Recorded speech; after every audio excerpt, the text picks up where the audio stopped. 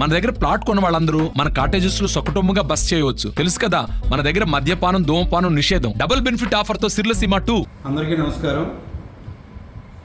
మన అల్లూరు సీతారామరాజు జిల్లా Paderu SP Shri Tuhin Sinha IPS గారి యొక్క ఆదేశాల మేరకు అదేవిధంగా రంపచోడవరం ఏఎస్పీ గారు అయినటువంటి కృష్ణ ఎస్పీ అయినటువంటి జగదీష్ అడహల్లి ఐపీఎస్ గారి యొక్క పర్యవేక్షణలో రాబోయే సార్వత్రిక ఎన్నికలు రెండు వేల ఇరవై నాలుగుకి పురస్కరించుకుని ఎవరైనా వేటకు కానీ అదేవిధంగా ఇతరత్ర పనులకు కానీ ఉపయోగించే ఈ నాటు తుపాకులు ఎవరైనా కలిగి ఉంటే చట్టరీత్యా అది విరుద్ధం అది.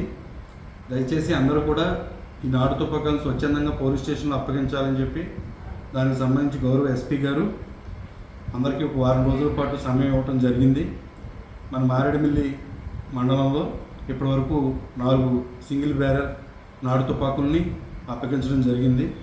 అదేవిధంగా మిగతా గ్రామాల్లో కూడా ఎవరి దగ్గరైనా నాటు తుపాకు ఉంటే ఇమ్మీడియట్గా వాటిని మీరు పోలీస్ స్టేషన్ నుండి అప్పగించాలి. లేని పక్షంలో ఆల్రెడీ మా దగ్గర ఎవరెవరి దగ్గర నాటు తుపాకులు ఉన్నాయనేది లిస్ట్ ఉంది. ఆ లిస్ట్ తీసుకుని వచ్చి మేము స్వచ్ఛందంగా తనిఖీ చే తనిఖీ చేస్తే మాత్రం ఆయుధ చట్ట ప్రకారం వాళ్ళ మీద కేసులు నమోదు చేసి రిమాండ్కి తరలిస్తాం. దయచేసి అనవసరంగా ఎవరో కేసుల్లో ఇరుక్కోకుండా ప్రతి ఒక్కరూ కూడా ఎవరి దగ్గర అయితే నాటు తుపాకీ ఉందో వారు స్వచ్ఛందంగా పోలీస్ స్టేషన్కి అప్పగించవచ్చు.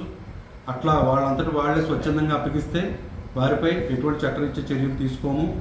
అదే మేము మా వరకు వచ్చి మేము వచ్చి తనిఖీలు చేసి పట్టుకుంటే మాత్రం ఖచ్చితంగా మేము దానిపైన ఆయుధాల చట్టం ఉపయోగించి వారిపై కేసులు నమోదు చేయడం జరుగుతుంది. దయచేసి అందరూ కూడా ఎవరి దగ్గర అయితే నాటు తుపాకులు ఉన్నాయో వాళ్ళంతా కూడా స్వచ్ఛందంగా పోలీస్ స్టేషన్కి అప్పగించవలసిందిగా కోరుచున్నాం.